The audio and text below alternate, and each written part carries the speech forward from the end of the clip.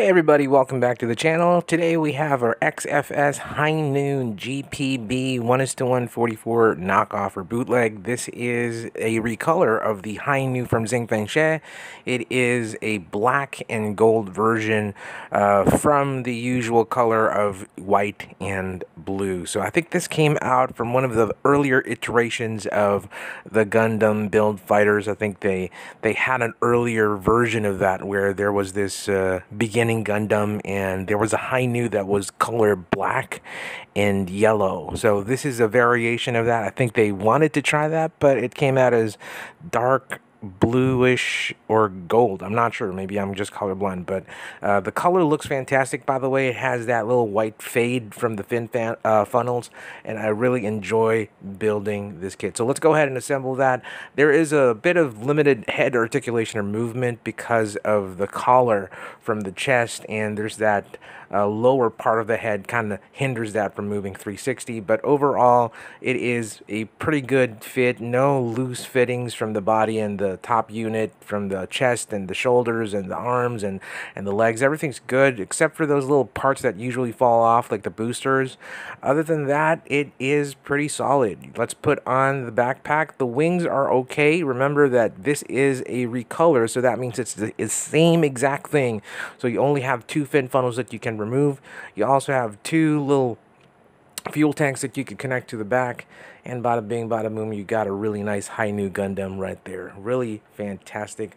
The color the color really pops out. You also have the typical armaments. You have the shield which I think looks really great. A plain looking rifle which is pretty dull.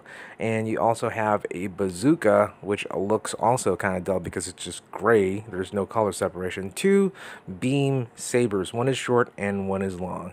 Um, overall the plastic quality of this kit is really not that bad. And uh, this is my second Xingfeng Hi-Nu and honestly the build was was very smooth. It wasn't that amazing. It wasn't that fantastic but i didn't really have any problems. And people would say like you know it's a hand grenade. No it's not. It's it's pretty okay.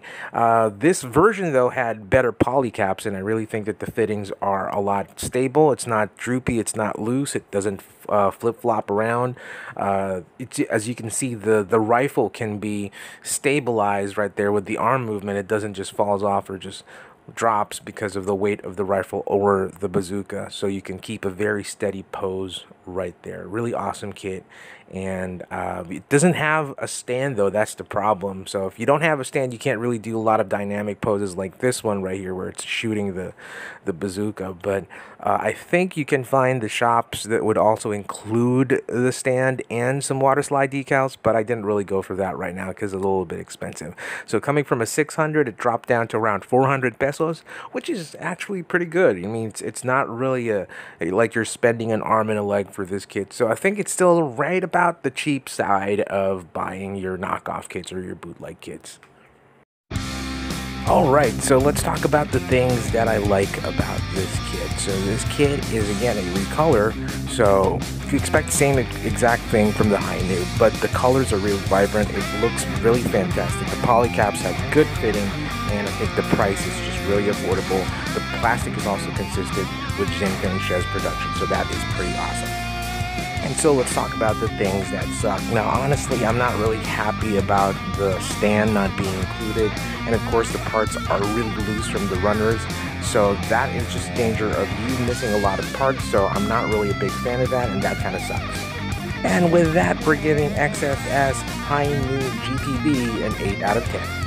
And that's pretty much all the time that we have right now, folks. If you haven't subscribed, click on the subscribe button, hit the like, hit the bell notification. Thank you, thank you, thank you. And remember, till all are one, peace out, rock and roll. Bye, everybody. Bye.